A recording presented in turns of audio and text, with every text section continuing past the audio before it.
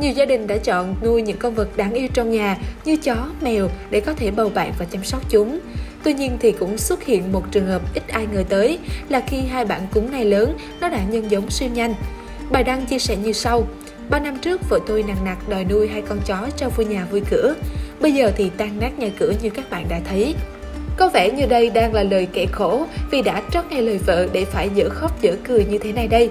Cụ thể thì hai vợ chồng nhà này nhận nuôi hai chú cún với mong muốn gia đình thêm niềm vui. Nhưng chẳng ai ngờ hai con này ban đầu có thể bành trướng thành 10 con như vậy. Nên trong nhà chỉ có hai chú chó thì còn có thể chăm sóc vui vẻ chơi đùa cùng chúng. Từ khu bếp đến nơi làm việc thì nơi nào đàn chó cũng lẹo đẻo theo sau cả một hàng dài.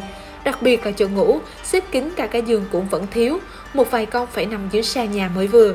Thế mới thấy thì nếu bạn có ý định nuôi thú cưng thì hãy xem xét và tìm hiểu thật kỹ để không bị vỡ kế hoạch như gia đình này nhé.